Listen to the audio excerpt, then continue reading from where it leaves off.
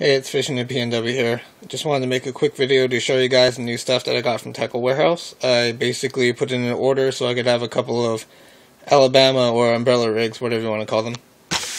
Alright, so let's see, let's get the stuff out of here.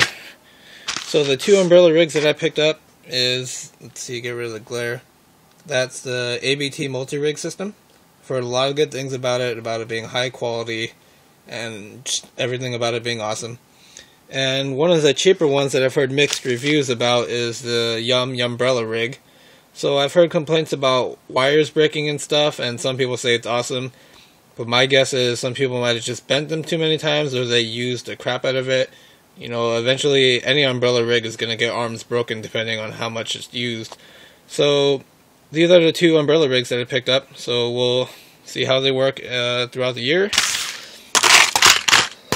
Uh, let's see right here. So I picked up the the J-Will swim bait heads. Uh, these have been selling like crazy on Tackle Warehouse, so I assume they're pretty good. So I bought one three pack of the quarter ounce and two three packs of the eighth ounce. And a lot of things that I've been reading about online is balancing your umbrella rig. And basically, if I have that one quarter ounce as the bottom and two eighth ounces on the sides above it, then that should help balance out the rig so it's always right side up. The two baits that I'm going to put on them is a Reaction Innovation Skinny Dipper, and I'll, since this is the bigger one, I'll put that on the quarter ounce.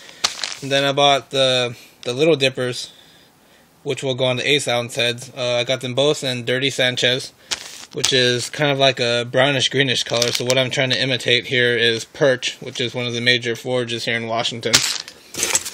And then the other thing that I'm going to do is for the two top arms, I'm going to put a Strike King Gold Willow Leaf blade on there.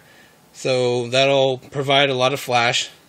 And I'll have, and then there'll be the, the three baits on the bottom for them to actually go after. Another thing I might do is use the owner's CPS spring and then put two dummy baits on the very top so it'll look like five bait fish. It'll give off the, um, it'll give off a look of a bigger school. So yeah, that's my stuff that I got for umbrella rigs. I will probably be, you know, trying them out mainly post spawn through summer and fall. I might even just try them out this weekend or soon, you know, just to try them out. I've been dying to test out my new swim bait rod. So there's the stuff. You know, leave me some input. Let me know what you guys have tried, what you've had success on, and if there's any particular swim baits, swim heads, or rigs that you guys really like that you would recommend. Alright, see you guys.